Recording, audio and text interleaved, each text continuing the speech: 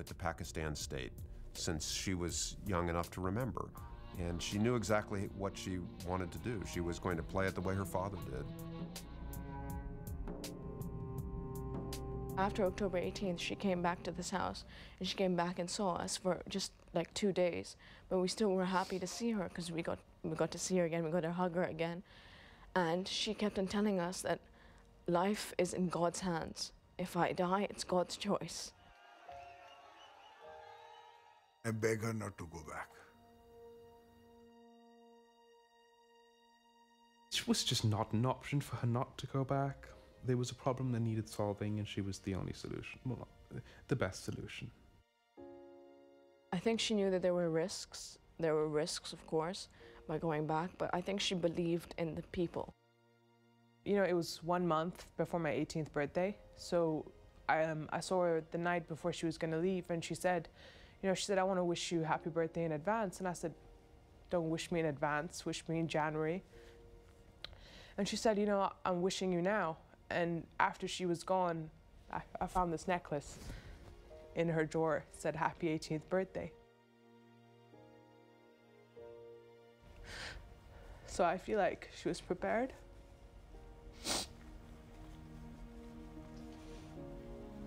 Kept on telling me, happy birthday, happy birthday. I'm like, why are you telling me now? She's like, what do you want for your birthday? I said, I want you to come back. She's like, I'll try my best.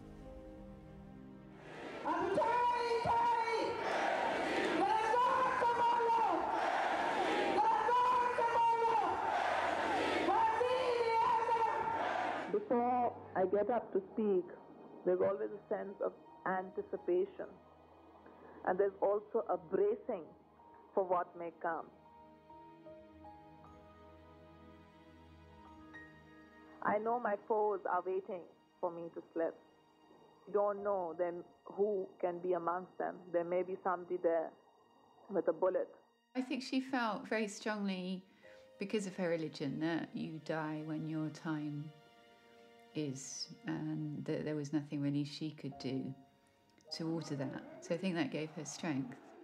As I get up, I feel the love of the crowd come towards, and I feel completely protected.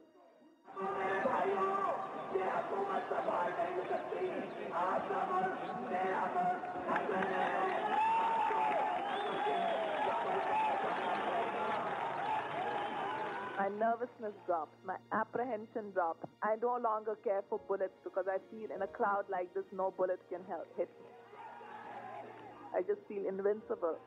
Sufi literature, the Sufi looks forward to death because the Sufi is really saying, I'm going to meet my beloved, the beloved being God. So there is no fear.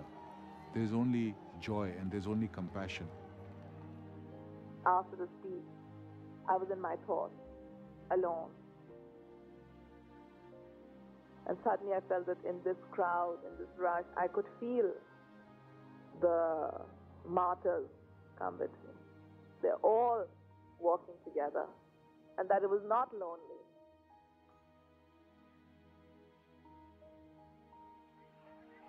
So I could almost feel, and it would make me feel lighter and lighter. And I really felt ele- elevated, you know. I just felt myself rise almost inside me, my soul or my spirit.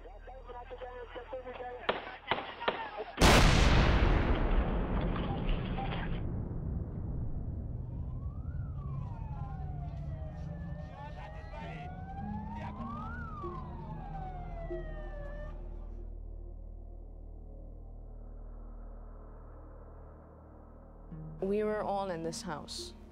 We were, me and my brother were in that room over the, and my father's room back there. We were watching the TV, and all we knew is that something happened, and that's when you knew we had to go, no matter what. They said, arrange a plane. While somebody's arranging a plane, I come back here and the television announces she's dead.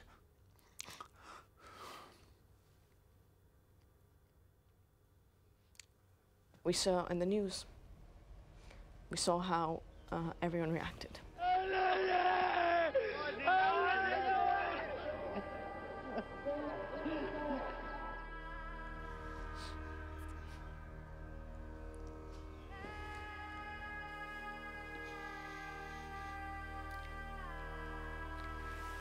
um, on CNN, it had a picture with um, the date of her birth in 2007. So, um, and my wife and I, uh, we cried.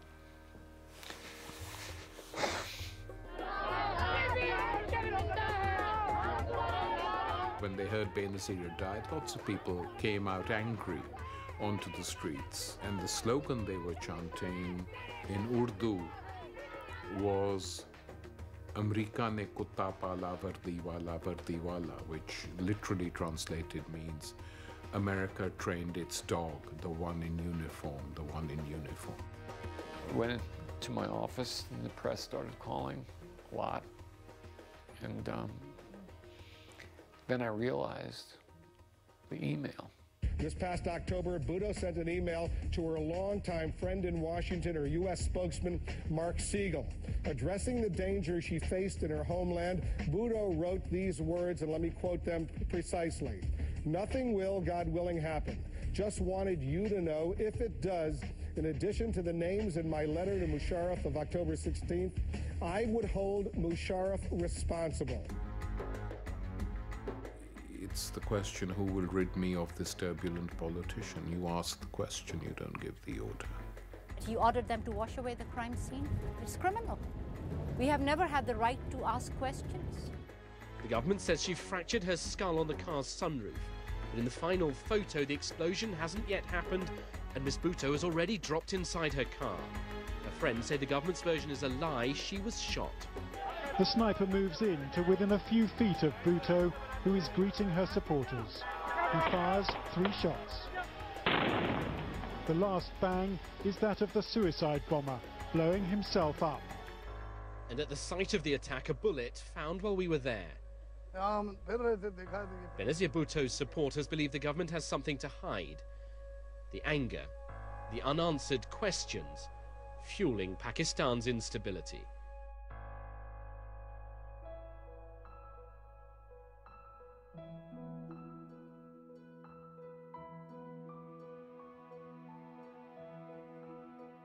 Martyrdom means standing up for justice against tyranny at all costs, prepared to sacrifice your life, your possessions, your family, everything, so as long as the principle of justice and of compassion are maintained. She was never interested in the moment. She was interested in the light at the end of the tunnel and history itself. When I get up to speak, I usually start slowly and then I build up. I like to come up with arguments. And I talk of the contrast. I talk of what we did, say Pakistan we inherited. Then I come to how we built it up. And we built it up because we had your strength, your support, your confidence. The importance of the people in developing a society. I look at the people because when I look at them, then I can feel that strength just run into my body. I feel strong, I feel more determined, and I feel that when I have this strength with me, then I can move any mountain.